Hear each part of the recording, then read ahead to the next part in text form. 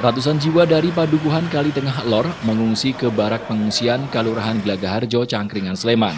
Selain lansia dan ibu hamil, ada juga anak-anak usia sekolah yang harus ikut mengungsi. Meski berada di pengungsian, namun hal tersebut tidak menyurutkan semangat anak-anak ini dalam belajar dan mengerjakan tugas sekolah. Bahkan keberadaan relawan di barak pengungsian banyak membantu mereka dalam belajar secara daring.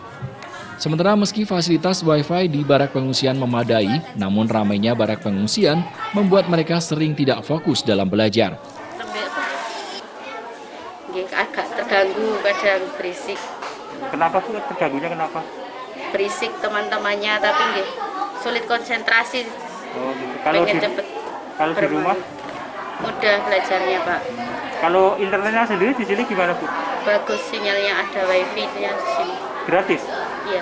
Kalau belajar di sini rasanya gimana? enak Enaknya kenapa? Enaknya kenapa?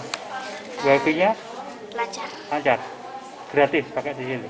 Nah, terus biasanya eh, apa, belajar mulai jam berapa sampai jam berapa? jam 8 Sampai? jam 9 Untuk perasaannya dia belajar di sini sama di rumah enak mana? dua-duanya Nah, kenapa kalau di sini enak kenapa? Wifi-nya lancar, gratis. Ya, terus eh, apa yang yang eh, jam berapa biasanya mulai belajar jam berapa?